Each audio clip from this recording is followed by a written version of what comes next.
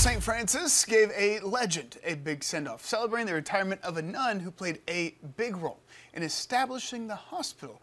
Well, we got a chance to speak with her as she ends her long career.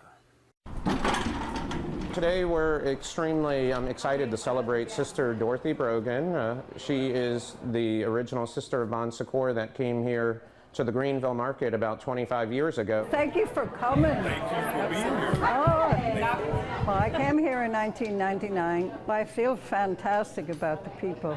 I've worked mostly with the, the sick in the community.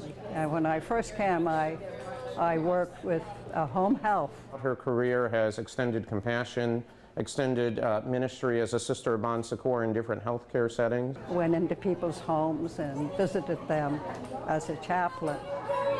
And then I well, worked with hospice. And then it was time for me to change ministry in terms of going into the homes. I feel that this was exactly where God wanted me to be in terms of my gifts and the gifts of the, the sisters that went ahead of me. Feel sad.